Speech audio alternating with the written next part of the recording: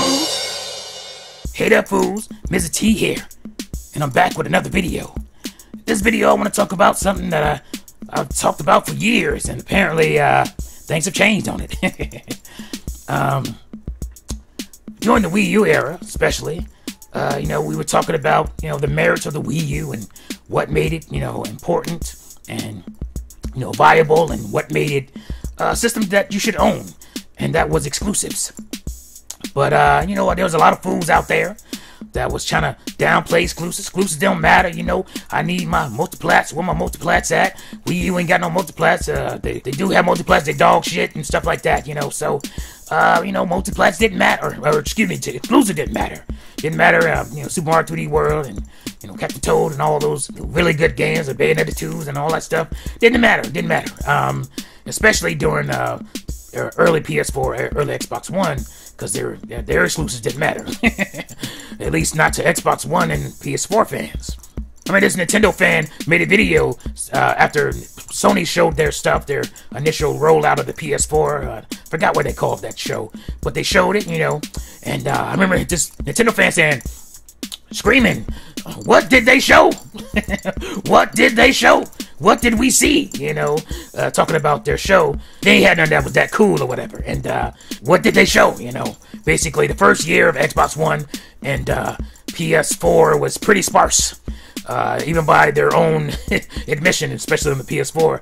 I remember that terminology being used as sparse.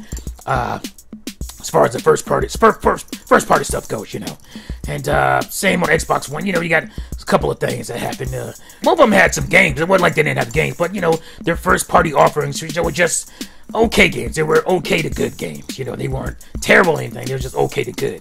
And so, you know, uh, Nintendo fans, you know, we were in our feelings, you know, because we weren't getting all the third parties and they was talking a lot of smack. And so we were talking about how great our first party was, you know. But, you know, there was a lot of fools running around saying, oh, it didn't matter. Those games don't matter.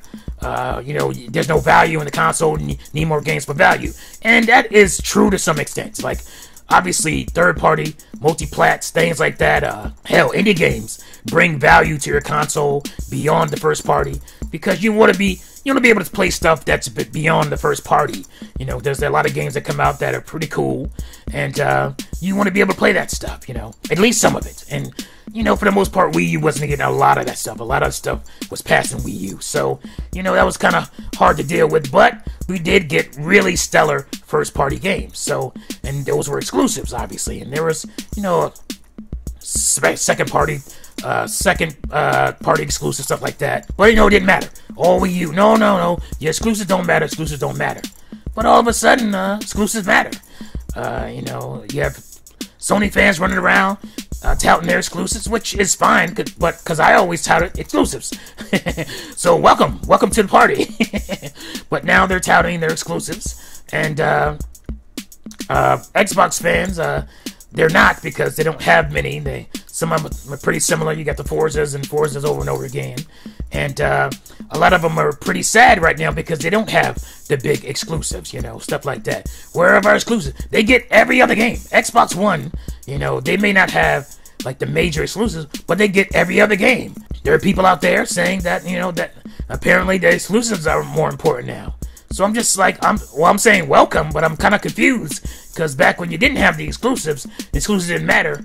But now that you got, you know, top tier exclusives, now they matter. Um, welcome to the party. Like I said, I've always been there. That's always been my stance that first party exclusives matter. To me, they matter most because you need a reason to buy the box.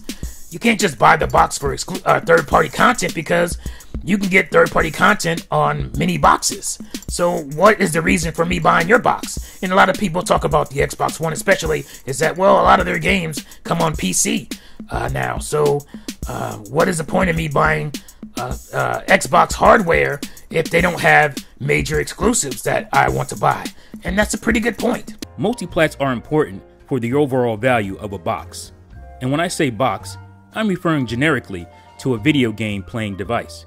Multiplats cannot be the main reason you buy a particular box because the multiplat is offered on multiple boxes. You're not choosing a box to play Assassin's Creed on. Chances are you already chose a box, maybe for brand loyalty or for that box's exclusives. In Assassin's Creed, is a bonus if you happen to like Assassin's Creed games, of course.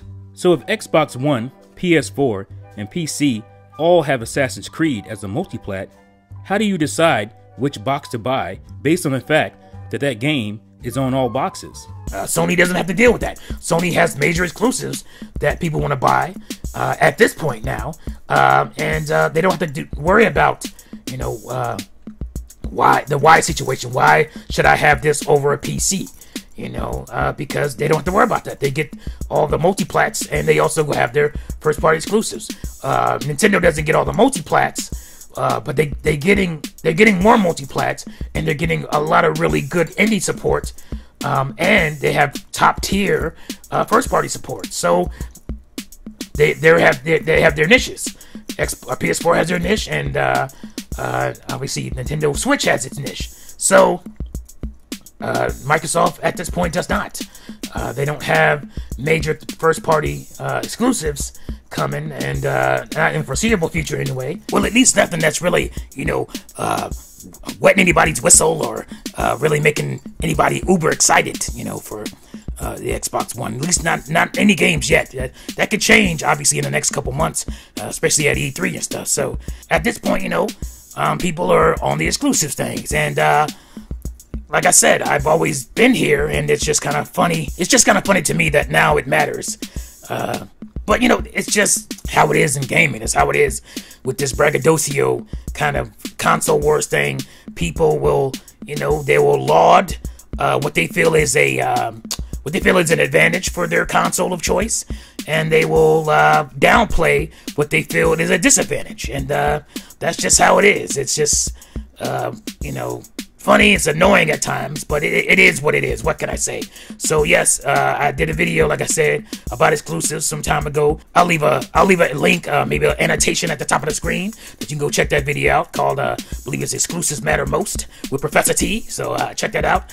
And uh, yeah, let me know what you fools think. Uh, do you feel like I feel? How I've always felt.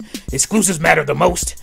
Multiplats you can get on anywhere, any box. That's not an incentive to uh, buy a box, other than the fact that it adds value to the box, but you still need a reason to purchase that box in the first place.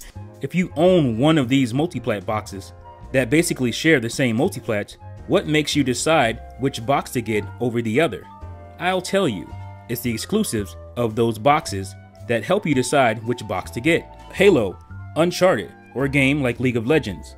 Am I wrong about that? Is that conclusion all that controversial? Multiplats are the bonus, but exclusives are the deciding factor in picking up a box. And for me, that's always been exclusive. So let me know what you fools think in the comments below. Uh, thank you for watching and listening as always, and uh, see you fools next time. Peace out.